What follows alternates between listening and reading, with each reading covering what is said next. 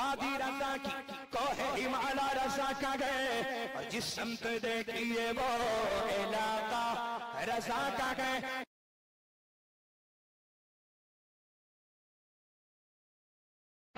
سید امین باپو صاحب گجرات سے انہوں نے سوال کیا ہے کہ حضرت علی شیر خدا رضی اللہ تعالیٰ عنہ کی کتنی بیویاں تھیں اور انہوں نے بی بی فاطمت الزہرا رضی اللہ تعالیٰ عنہ کے رہتے ہوئے دوسرا نکاح کیا تھا؟ مجاہد سنت سید محمد امین باپو، السلام علیکم ورحمۃ اللہ وبرکاتہ۔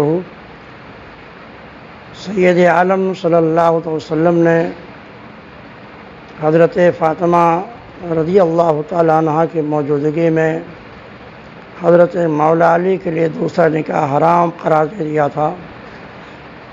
بخاری شریف میں بھی اس کا تذکرہ موجود ہے۔ جب تک حضرت فاطمہ حیات ظاہری میں رہی، آپ نے کوئی بھی نکاح نہیں فرمایا۔ اس لیے آپ کے سوال کا جواب یہ ہے کہ حضرت علی کرم اللہ تعالی وج الکریم نے مختلف اوقات میں نو شادیاں کیں۔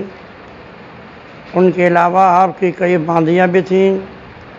آپ کا پہلا نکاح جگر گوش رسول سیدت النساء العالمین حضرت فاطمہ رضی اللہ تعالیٰ عنہ سے ہوا اور آپ کے ان سے تین اولادیں پیدا ہوئیں۔ امام حسن، امام حسین اور امام محسن۔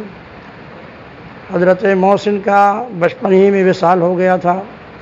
سیدہ فاطمہ سے حضرت علی کرم اللہ جل کریم کے دو صاحبزادیاں زینب قبرا اور ام کلثوم پیدا ہوئیں۔ جب تک حضرت فاطمہ بقید حیات رہیں آپ کرم اللہ وج کریم نے کسی اور سے نکاح نہ کیا۔ حضرت فاطمہ رضی اللہ تعالیٰ عنہ کے انتقال کے بعد مختلف اوقات میں آپ کی کی مختلف شادیاں ہوئیں۔ تفصیل یہ ہے، ام المومنین ام البنین بنت حرام عامریہ رضی اللہ تعالیٰ عنہ سے چار فرزند۔ حضرت عباس، حضرت جعفر، حضرت عبداللہ، حضرت عثمان پیدا ہوئے۔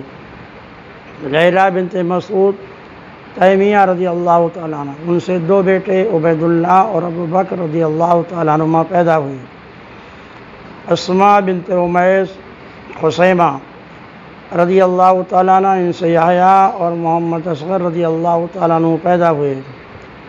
ام حبیبہ بنت زما رضی اللہ تعالیٰ عنہ، ان سے حضرت عمر اور سیدہ رقیہ رضی اللہ تعالیٰ عنہ پیدا ہوئے۔ امامہ بنت ابو العاص رضی اللہ تعالیٰ عنہ، ان سے محمد اوسط رضی اللہ تعالیٰ عنہ پیدا ہوئے۔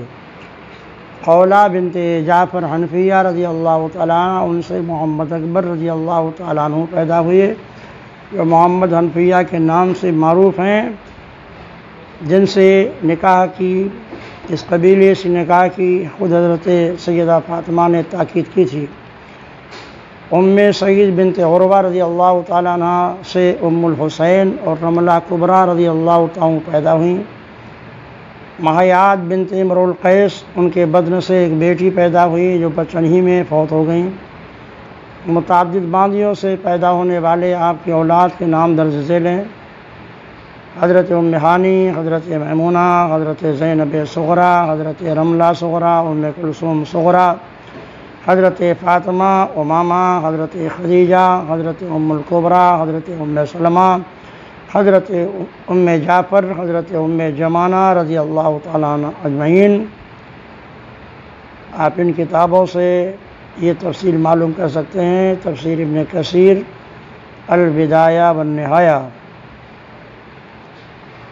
ابن قتيبة